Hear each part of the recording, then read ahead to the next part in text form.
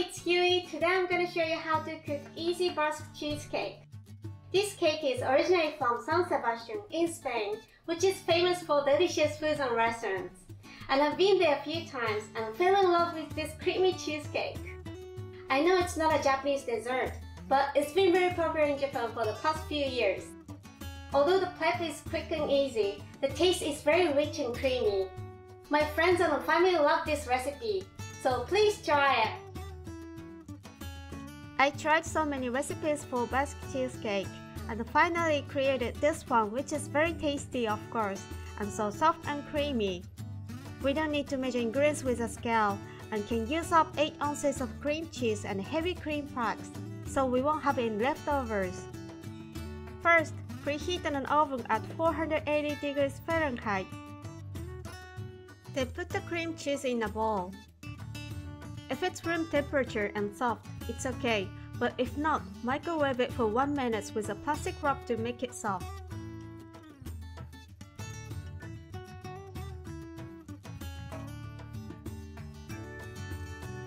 Add sugar there and mix them together.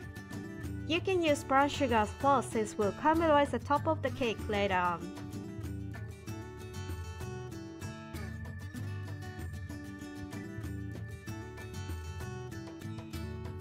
Crack and beat 3 eggs.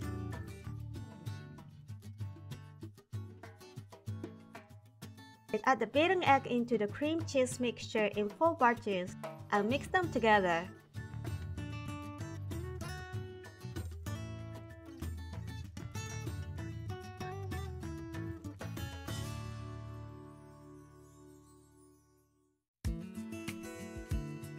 Next, add 2 teaspoons of flour and keep mixing. I always use gluten-free flour to make it gluten-free, but you can just use regular flour. Then add heavy cream and mix well. Now, I'd like to introduce three options that you can use to really elevate this cheesecake. If you have all the ingredients at home, please try all of them. First one is adding a pinch of salt. It's gonna enhance the flavors like salted caramel. The second one is adding a vanilla extract. The cheesecake has a kind of custard taste, so vanilla extract goes great with it. The last one is adding liqueur.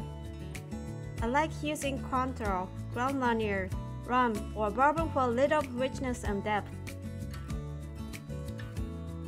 Before pouring the mixture into a baking pan, with a piece of wax paper or parchment paper and squeeze the water out with your hand. Then place it on the baking pan. This way, the wax paper will fit on the baking pan easily. Pour the cheesecake mixture into the wax paper baking pan and put it in the oven. Bake for about 40 minutes.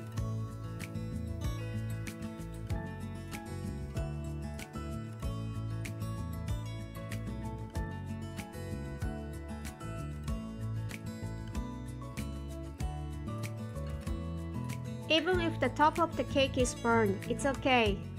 The deep golden brown color is what we want for this cheesecake. The burned part is caramelized and has a slightly bitter taste.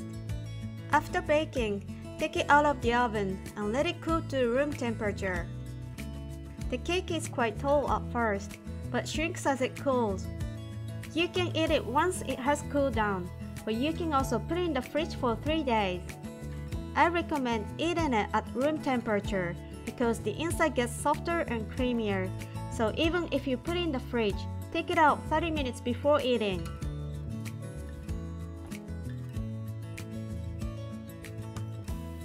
It's super creamy and just melts in your mouth. The creamy inside and the bitter brown top balances out perfectly. Not much effort to bake this cake, but the outcome is amazing like a patisserie cake. Hope you like this recipe and give me a thumbs up. Thank you for watching and see you again. またね